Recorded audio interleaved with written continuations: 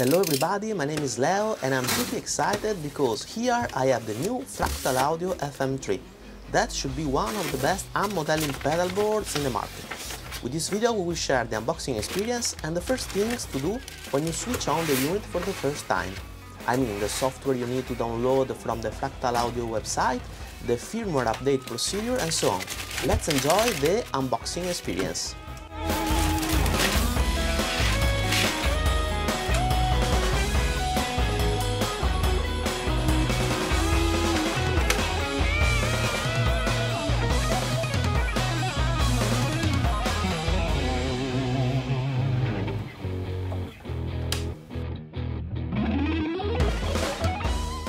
Now we need to download the software from the Fractal Audio website.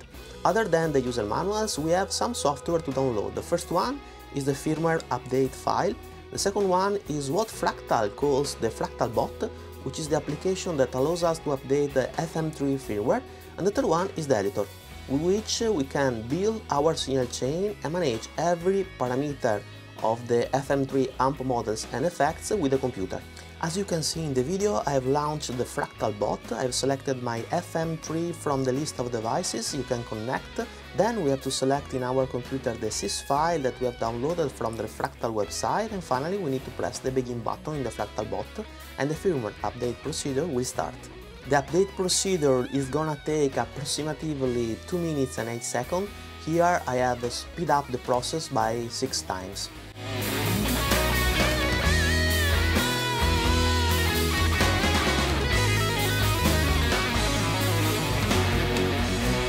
Once the update procedure has finished, you need to power off the unit, wait for 5 seconds and then you can turn it on again.